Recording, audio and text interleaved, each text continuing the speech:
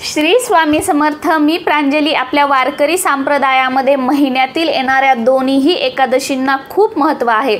आपला संपूर्ण वारकरी संप्रदाय महिन्यातून येणाऱ्या दोन्ही एकादशी न चुकता पकडतो. आपल्यातीलही बरेच जण या एकादशी पकडतात आणि बरेच जण पकडतही नाहीत.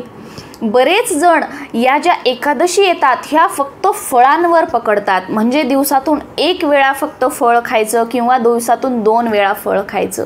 बरेच जण उपवासाचं खाऊनही एकादशी पकडतात. जसं की साबुदाणा भगर खाऊनही उपवास पकडतात आपल्यासारखं.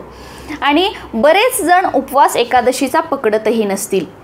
पण आपल्या महाराष्ट्रामध्ये अगदी घरोघरी गल्लोगल्ली प्रत्येक प्रत्येक घरात लहानांपासून ते मोठ्यांपर्यंत एक एकादशी पकडली जाते. ती म्हणजे आषाढ महिन्यामध्ये येणारी पहिली एकादशी. या एकादशीला आपण आषाढी एकादशी म्हणून ओळखतो. आपल्यातील बरेच जण या एकादशीला मोठी एकादशी म्हणूनही ओळखतात आणि बरेच जण देवशैनी एकादशी म्हणूनही ओळखतात.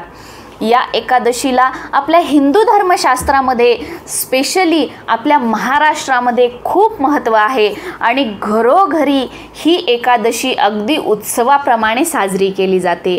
आणि आपल्या पंढरपूरमध्ये या आषाढी एकादशी दिवशी खूप मोठा उत्सव साजरा केला जातो. बरेच आपले वारकरी बांधव महिन्यातील एका एकादशीला किंवा महिन्यात ज्या दोन्ही एकादशी येतात त्या एकादशीला पंढरपूरची वारीही करतात.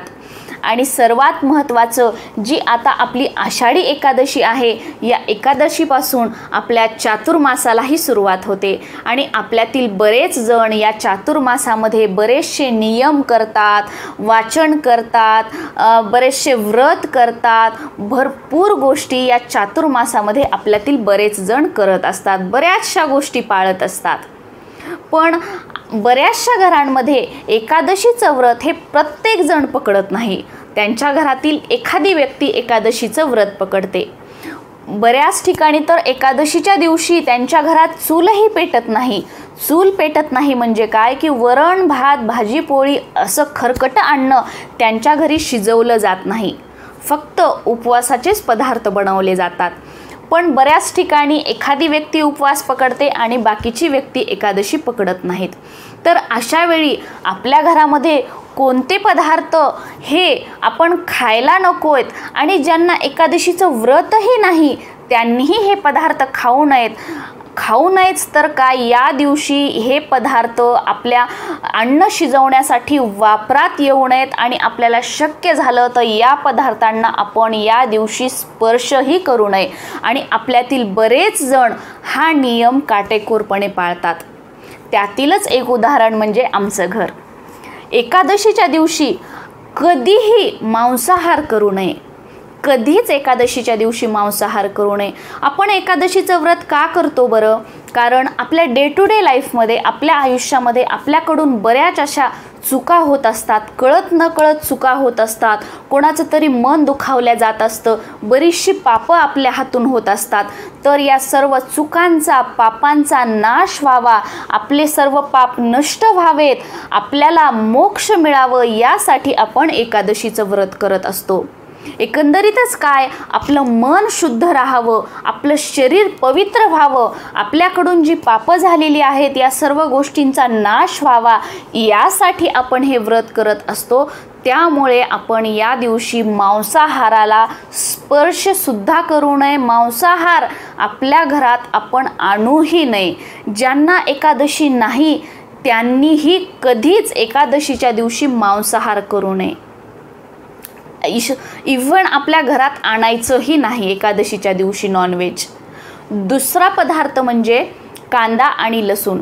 हे तर आपण प्रत्येक जण पाळतोच. म्हणजे आपण आपल्या जेही धार्मिक कार्य असतात या धार्मिक कार्यामध्ये आपण कांदा लसूणचा वापर करत नाही. जसं की आपल्या म्हणजे महाराष्ट्रामध्ये जेही सण येतात वार येतात जे आपण साजरे करतो मोठ्या थाटामाटामध्ये जे व्रत असतात यामध्ये आपण देवी देवतांना जो नैवेद्य दाखवत असतो त्या नैवेद्यामध्ये आपण कधीही कांदा लसूणचा वापर करत नाही. ही गोष्ट वेगळी की आपल्या स्वामींना कांद्याची भजी आवडतात. पण इतर देवी देवतांना जेव्हा आपण नैवेद्य बनवत असतो तेव्हा आपण त्या पदार्थांमध्ये कधीच कांद्याचा आणि लसूणाचा वापर करत नसतो. हे हे काय आपण एकादशी हे व्रत वैकल्य आपण का करत असतो? आपल्या शरीराची शुद्धी करण्यासाठी आपल्याकडून जे पाप होत असतात मी सांगितल्याप्रमाणे त्याची ते नष्ट होण्यासाठी आपलं मन प्रसन्न राहण्यासाठी म्हणजे या देवी देवतांनी आपल्याला जे काही आपल्या मनामध्ये वाईट विचार येतात आपल्या हातून जे काही नको त्या गोष्टी होतात या गोष्टी आपल्या हातून होऊ नयेत. आपल्या मनामध्ये सात्विक विचार यावेत आपली बुद्धी सात्विक व्हावी. आपण योग्य मार्गावर चालवावं योग्य मालण्या मार्गावर आपल्याला चालण्यासाठी मार्ग मिळावा. आपली म्हणजे कधीच बुद्धी भ्रष्ट होऊ नये. आपण वाईट मार्गाला कधी जाऊ नये. यासाठी आपण हे व्रत जप तप करत असतो. या अशा पवित्र दिवशी जर आपण नॉनव्हेज खाल्लं कांदा लसूण खाल्ला तर मग आपण ज्या गोष्टींसाठी हे व्रत करत आहोत त्याचा उपयोग काय? म्हणून आपण या दिवशी स्पेशली एकादशीच्या दिवशी मांसाहार करायचा नाही कांदा लसूण खायचं नाही आणि सर्वात महत्त्वाचं एकादशीच्या दिवशी दुपारी झोपू नये. तसं तर एकादशीच्या दिवशी रात्री बारा वाजेपर्यंत जागरण करावं रात्री झोपू नये असंही आहे पण ते जरी शक्य नसेल तर एकादशीच्या दिवशी आपण दुपारी झोपू नये. बघा तसे तर पाळायला गेले तर खूप नियम आहेत बऱ्याच गोष्टी आहेत जे आपल्या हिंदू धर्मशास्त्रामध्ये सांगितलेल्या आहेत. ह्या त्यातील फक्त छोट्या छोट्या काही गोष्टी आहेत.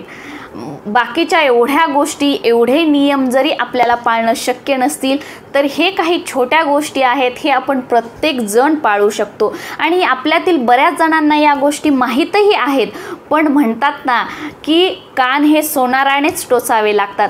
तसं जेव्हा आपल्याला दुसरं कोणी सांगतं तेव्हा या गोष्टी आपल्या लक्षात येतात आणि आपण या गोष्टी पाळायला लागतो. बऱ्याच वेळेला या गोष्टी आपल्याला माहीतही असतात पण त्या विसरल्या जातात. आपण त्या गोष्टींकडे लक्ष देत नाहीत. त्या आपल्या डोक्यातून निघून जातात.